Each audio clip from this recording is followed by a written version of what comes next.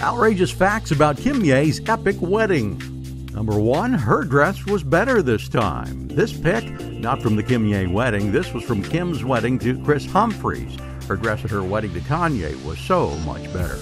Her dress was better this time. This pic is from her wedding, super classy and beautiful. There were actually many, many wardrobe changes throughout the wedding weekend. Her wedding gown this time around was designed by Givenchy Couture. Claire's red copy? At the 2014 Emmy Awards, many are comparing Claire Danes' red dress to Kim's wedding dress, saying they're almost copies of each other.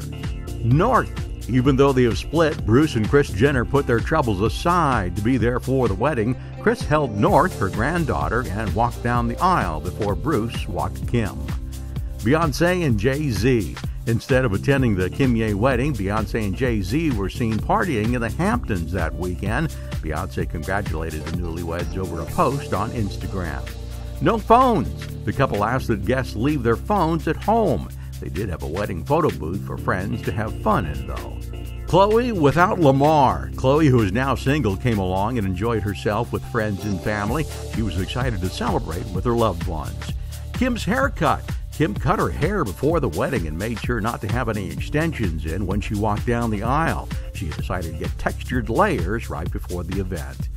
Kendall. Kendall had just broken up with Harry Styles before the wedding. Like big sister Khloe, she flew solo for the celebration. John Legend and Chrissy Teigen. John Legend and Chrissy were adorable during the wedding. They made sure to take some adorable pictures in the photo booth. Groomzilla.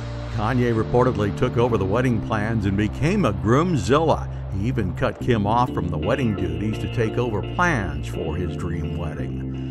Lena Dunham tweets. Lena Dunham made sure to tweet multiple times during the wedding. While her tweets were hilarious, she was not actually at the wedding. The Big Smooch. Former Vogue editor Andre Leon Talley was impressed at the length of the first kiss, saying that there was probably tongue engagement. No Taylor?